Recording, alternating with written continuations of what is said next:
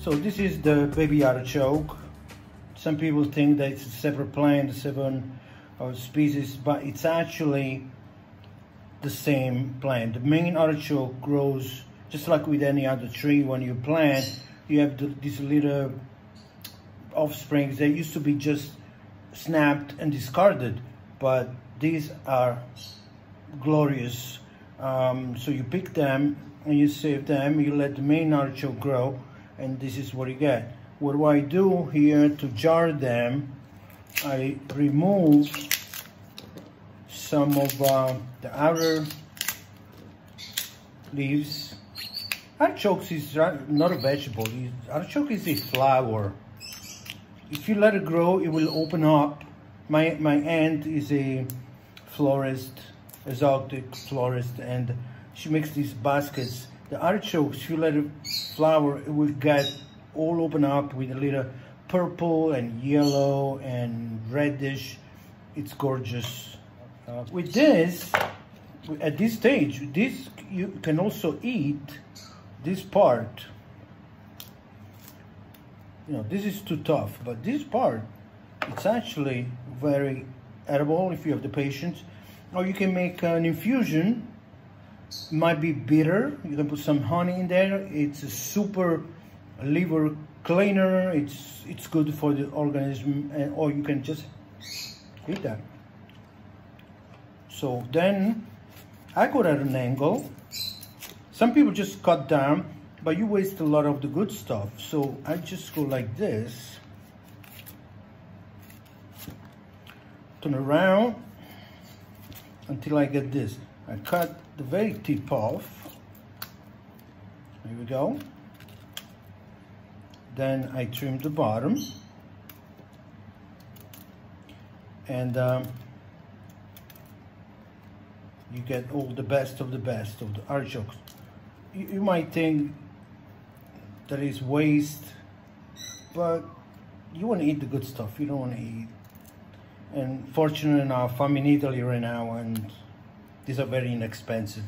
Um, in the States, around Christmas time, we pay like $5 for one artichoke, uh, you know, the full size. Anyway, this is what we get. At this point, I just marinate them for a few hours or overnight if you have uh, time to plan with some lemon. And these are actually were done last night. This I just did now. And you can see it's all the same with these rosy tips. And then we're gonna boil them in a solution of uh, water and, and sea salt with the white wine vinegar for like very, very short time. Let it cool down. And then um, I'm gonna show you what to do to jar them. So at this point, um, after we marinate them with water and uh, citrus, we have that. These have been overnight in the lemony uh, water. I cut it straight in the half and this is what we get. I'm very fortunate I'm in Italy and these are very available right now not even expensive. So this is the time where you want to jar them and have them all year round. So as much as you can, just do it. And uh, if you have this little, the beard, the choke, that's why it's called artichoke because this, it's not very, uh, you know, it chokes you if you get this little beard, what they call it. So I go under that and I take that out. And uh, this don't really have much. So this is our artichoke heart. It's ready to be for the next step. See you there. So what I did here is a solution of uh, 2 to 1 uh, water tap water depending on where you live. I, uh, I used a uh, spring water that I bought. It's very fairly inexpensive for a project like this, I would suggest. And uh, so two to one white wine vinegar, one to two parts water.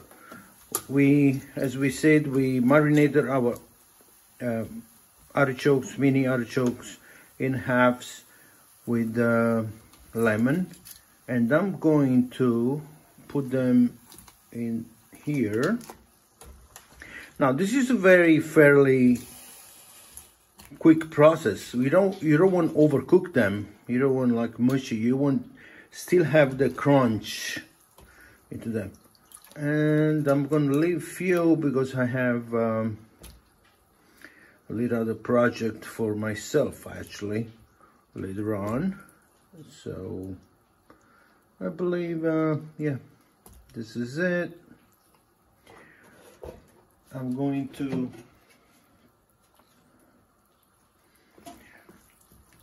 let them come to temperature and boil them for about five to seven minutes depending on what you're trying to achieve i like them crunchy i want if i i make a bed of uh, fresh buffalo mozzarella which now in in, in italy um, i mean sorrento but in italy in general uh, also comes in um, a lactose free so for everybody has a problem with milk or whatever you can enjoy the mozzarella the buffalo mozzarella and etc without having problem so uh, with with the lactose.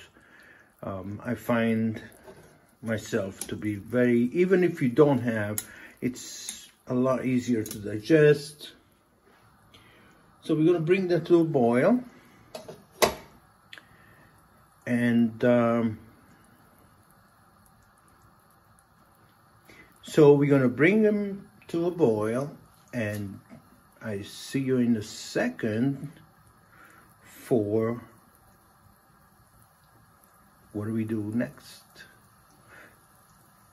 I'm gonna bring them to a boil wait a few minutes and I'll show you what's next at this point we're gonna turn the fire off. We're gonna fish them out. They very crunchy al dente, but they had they um they got their uh, vinegar boiling um, taste. I'm gonna drain them into this vessel.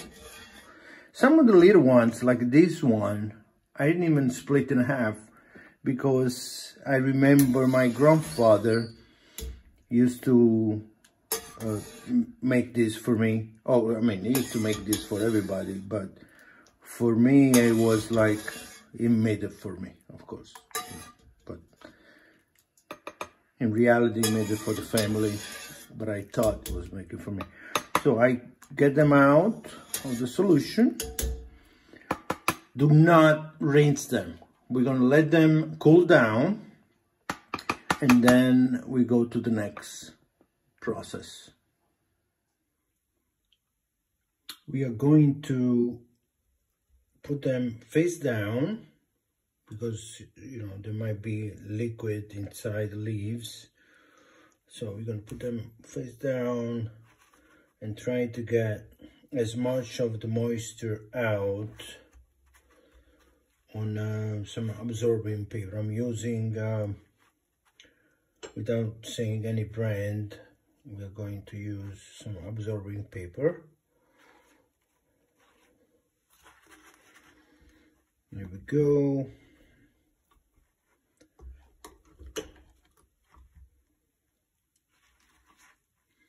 And that's that. And at this point I think I'm gonna cover them with another layer of paper absorbing paper that is I'm gonna let them stand because we're gonna jar them in oil oil and water as everybody knows repel each other. So I'm gonna get as much of the moisture out. And then as, you know, wait a little bit and then we jar it. So time to put them in the jar. First of all, the jar was sterilized. We boil it for, in, in we put it in boiling water for 10 minutes at a very high temperature. So everything, remember when you boil the jar to remove the gasket because that would get ruined and uh, just the glass and um, all the parts are sterilized. Now we're gonna start getting our artichokes in there.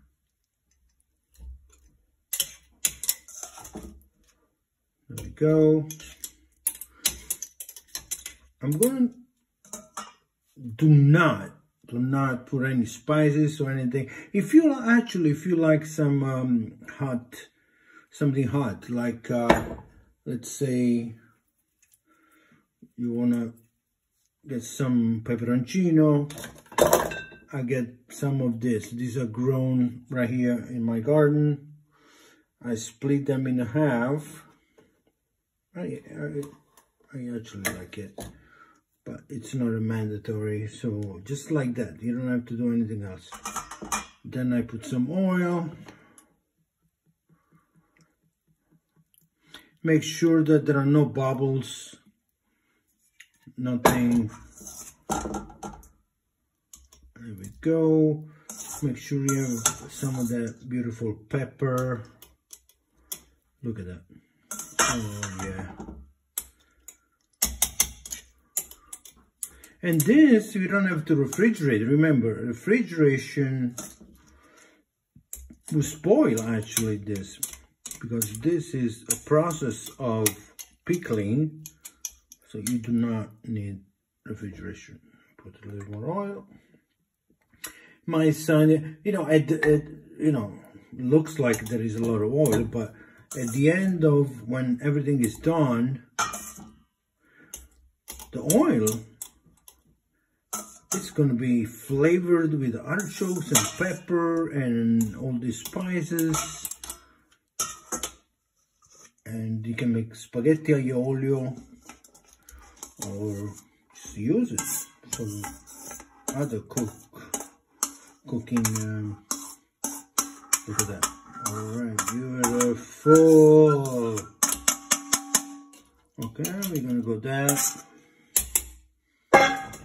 we're to put oil. You need to be above the line of um, the actual, there we go. We're going to move, make sure there are no bubbles in there.